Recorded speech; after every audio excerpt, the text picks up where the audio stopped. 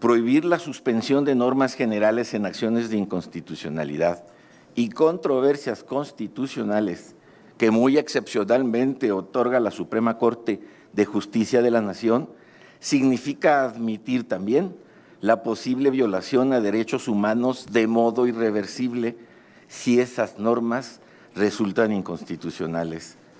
Recuerden lo ya sucedido, nada ni nadie lo repara. La impartición de justicia es una función esencial del Estado mexicano. Requerimos jueces por elección popular, sí, y que quienes participen cuenten con la preparación jurídica y el conocimiento de las materias sobre las cuales va a juzgar.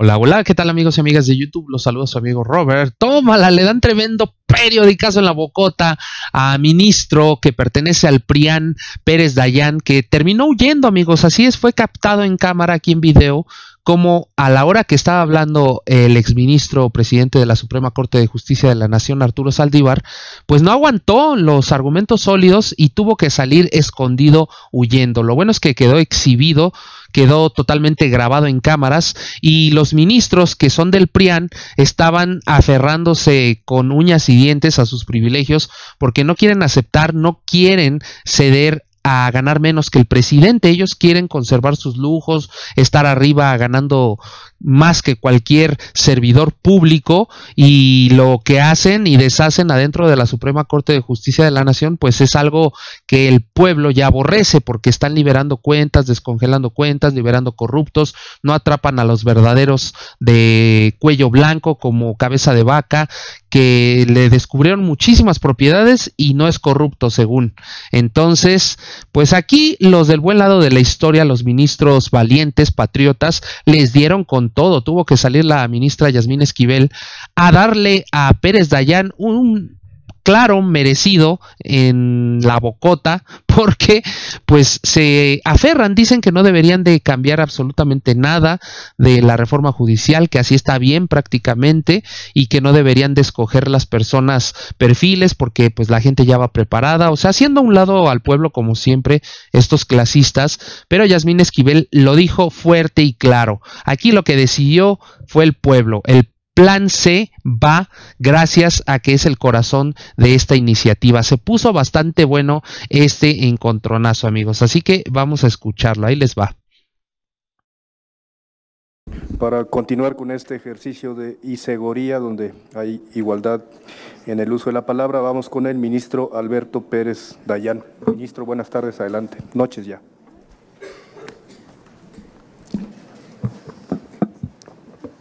Agradezco a esta soberanía la oportunidad de expresar, en líneas generales, algunas reflexiones en torno a la iniciativa constitucional en materia de justicia presentada por el Ejecutivo Federal.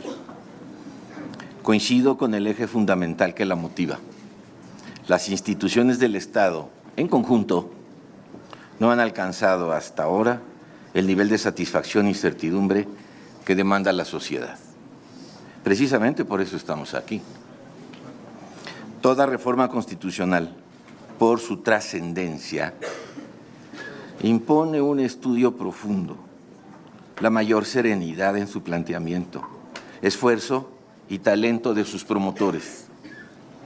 Debe siempre dar el tiempo necesario. La prisa no es un buen consejero. Su diseño y prueba de eficacia son absolutamente imprescindibles. No es aceptable ni recomendable, obviamente, tomar riesgo alguno. Los arrebatos, como la nacionalización de septiembre de 1982, que desencadenó y culminó con el Fobaproa de 1996, resultaron dolorosos y socialmente muy costosos. Bajo esa premisa, el constituyente federal de ese mismo año fijó las bases de la representación nacional haciéndola coincidir en la medida más precisa posible con los resultados de una elección. Tantos diputados, gracias, tantos diputados como votos recibidos. Los límites impuestos a la sobrerepresentación no son casuales, guardan una lógica indiscutible con sus propósitos. Significan, en las propias palabras de su autor, el respeto absoluto a la pluralidad democrática y al reconocimiento de todas las expresiones de la voluntad popular. Con esos precisos perímetros numéricos, 300 para ser exacto, se aseguró que ninguna fuerza política por sí misma pueda reformar el texto constitucional. Es decir, que siempre debe hacerlo con la concurrencia de la oposición complementaria que le dé la legitimación y fuerza que requiere toda norma fundamental. Con ello presente, señoras y señores legisladores, destaco de entre muchos tres temas principales. Primero, prohibir la suspensión de normas generales en acciones de inconstitucionalidad y controversias constitucionales que muy excepcionalmente otorga la Suprema Corte de Justicia de la Nación, significa admitir también la posible violación a derechos humanos de modo irreversible si esas normas resultan inconstitucionales. Recuerden lo ya sucedido, nada ni nadie lo repara. Segundo, suprimir efectos generales a determinadas sentencias de amparo implica desarticular la doctrina del interés legítimo que caracteriza hoy al instrumento jurídico más avanzado de nuestra tradición jurídica. De aprobarse así la iniciativa, nada impedirá que se ejecute una norma que afecta severamente, por ejemplo, el medio ambiente o exponga a la colectividad a un daño injusto, pues solo habrá de proteger a quien tuvo recursos para defenderse de ella, no más. Con esa óptica, el caso de las trabajadoras del hogar, iniciado con una sentencia y concretado en la ley en este recinto, sería impensable siquiera. Tercero, la carrera judicial implica un servicio civil de excelencia. La militancia y el sufragio la desvirtúan y la destruyen. No lo digo yo, ya se ha dicho aquí y mucho.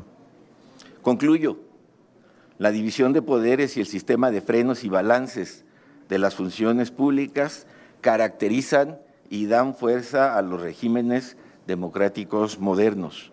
México no debe ser la excepción. No debemos dejar pasar la, inmejorable oportunidad que representa para esta nación esta valiosa iniciativa. Sumemos ahora sí la experiencia legislativa, la experiencia judicial e impulsemos la voluntad del Ejecutivo, de modo que los tres poderes, unidos como garantes, refrenden el compromiso del gobierno con su pueblo. Eso es lo que persigue una mejor justicia. Ceñido a los cinco minutos que están por concluir, les agradezco la oportunidad. Muchas gracias, ministro. Y ahora escuchen, amigos, el discurso que dijo Yasmín Esquivel, que es la que está aquí, se le está quedando viendo. Fue algo magistral, fue algo muy bueno. Todo el mundo le aplaudió y aparte pues dejó completamente exhibidos a estos personajes que pues hacen todo lo posible por mentir, por decir que se preocupan por la gente, pero es una absoluta mentira, una absoluta farsa, porque lo que quieren es que no les quiten sus privilegios groseros, su ambición vulgar y estas pues prerrogativas que tienen por arriba del presidente y cualquier servidor público. Ahora sí vamos a escuchar cómo lo aplastó Yasmín Esquivel y posteriormente cómo salió huyendo de ahí de esa mesa de debate, amigos. Ahí les va. Ministro, vamos ahora con la participación y mensaje de la ministra Yasmín Esquivel Buenas tardes, ministra, adelante con su mensaje. Señoras y señores legisladores, agradezco a ustedes la posibilidad de participar en este ejercicio democrático que implica el análisis de reformar nuestro Poder Judicial. Creo que nadie duda que es un imperioso deber de nuestro tiempo efectuar los cambios que requiere esta importante función de impartir justicia para recuperar la confianza ciudadana. El mandato de las urnas es claro. No podemos ponernos una venda en los ojos ante una nueva realidad social. Hoy nos tiene esa realidad social aquí sentados. Esta realidad impone el deber de impulsar los cambios que sean necesarios y, entre otros, no puede dejar de considerarse tomar las acciones para la elección de juzgadores como una medida entre varias que permitan recobrar, la confianza en sus juzgadores. La impartición de justicia es una función esencial del Estado mexicano. Requerimos jueces por elección popular, sí, y que quienes participen cuenten con la preparación jurídica y el conocimiento de las materias sobre las cuales va a juzgar. La elección progresiva, sobre la que gira mi propuesta, consiste en la aplicación de elecciones populares sucesivas para ir cubriendo en forma escalonada aquellos cargos que queden vacantes por distintos motivos, renuncia, muerte, retiro o cualquier otra causa. Tales posiciones se irán ocupando gradualmente por medio de la elección directa, que a su vez garantice los elevados estándares de calidad de quienes sean postulados. Ello permitirá elevar el nivel técnico y de competencia de todas las personas juzgadoras federales que cubran los cargos a partir de ahora para lograr la renovación total y de manera paulatina. Queremos jueces de excelencia y con legitimidad social. En este contexto, siendo plausible democratizar el acceso a la titularidad de los cargos del Poder Judicial de la Federación, todavía enfrentamos un reto mayor consiste en mantener su independencia y autonomía respecto de los demás poderes constituidos e inclusive con relación a los otros poderes fácticos o económicos. Ambos atributos, independencia y autonomía, son inherentes a la función jurisdiccional en todos los países libres.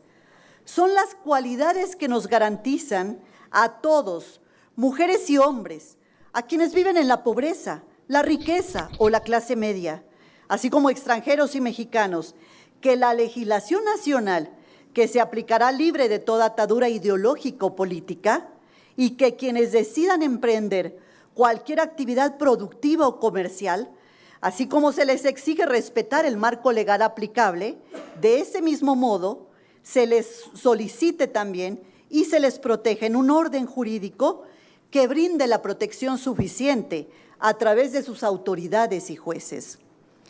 Para evitar esto, que se dé interpretaciones arbitrarias, lo que debemos es generar seguridad jurídica.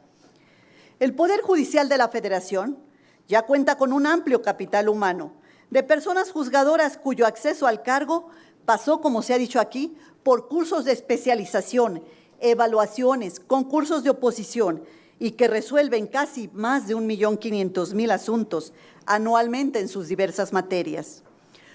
Hoy el reto que tenemos es generar consensos, identificar los puntos de acuerdo entre la elección directa como fue el mandato popular, asegurar la independencia judicial, garantizar los derechos laborales adquiridos, asegurar el conocimiento técnico especializado de las personas juzgadoras en beneficio de los justiciables y contar con un sistema de impartición de justicia fuerte y confiable.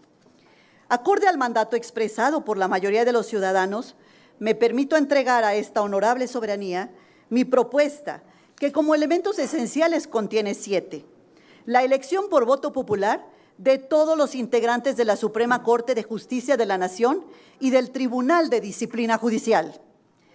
La sustitución progresiva de juezas, jueces, magistrados y magistradas, la garantía de idoneidad y excelencia de los perfiles de juzgadores que van a participar, el respeto a los derechos laborales de todas y todos, la observancia a la paridad de género, los jueces cercanos a la gente y la justicia para todas las personas por igual.